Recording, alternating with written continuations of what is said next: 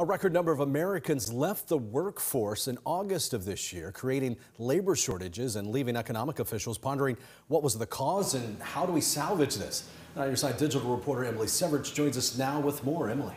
Yeah, Ken, I spoke with local experts, and they tell me it's a facet of contributing factors. It's happening across the country, and they tell me in my special report, The Great Resignation, what is contributing.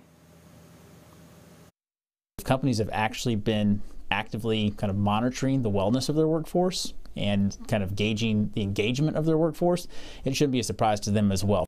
According to the U.S. Bureau of Labor Statistics, a historic 4.3 million Americans left their jobs in August. In North Carolina, the labor force has lost about 90,000 workers. Economists have coined the term the Great Resignation to describe this ongoing phenomenon. I asked Dr. Cody Chellin, associate professor in the College of Business at ECU, why are people leaving? What's the reason? He says the pandemic has made workers reevaluate what they're getting out of their jobs the pandemic has basically provided for a perfect cocktail of burnout. I think for people, they're trying to reassess priorities. So a lot of people are at home, and for people, they've given a lot of time to companies. They've been with an organization for many years.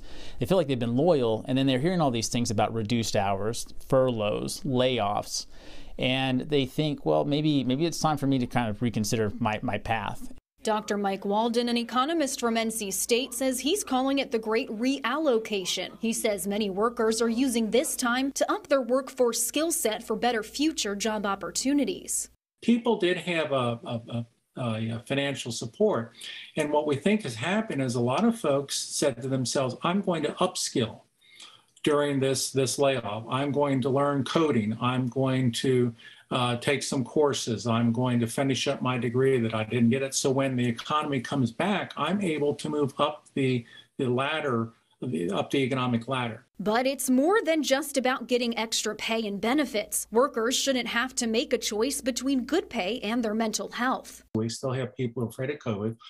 We have families with children who are having lots of trouble finding daycare centers uh, who may be worried about school schedules. And while they're hearing all these things about possibly losing their job, they're not hearing at the same time any kind of support from their organization.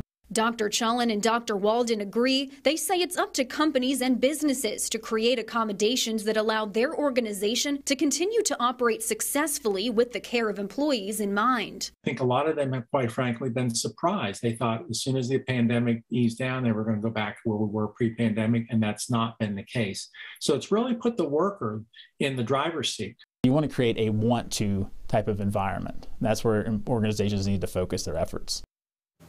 Signs of employee burnout include tardiness, extended breaks, and psychological withdrawal like not paying attention in meetings. Those can be warning signs that somebody is indeed burned out. The professors say the more companies can proactively manage that before it happens, the more successful of a turnover rate there will be.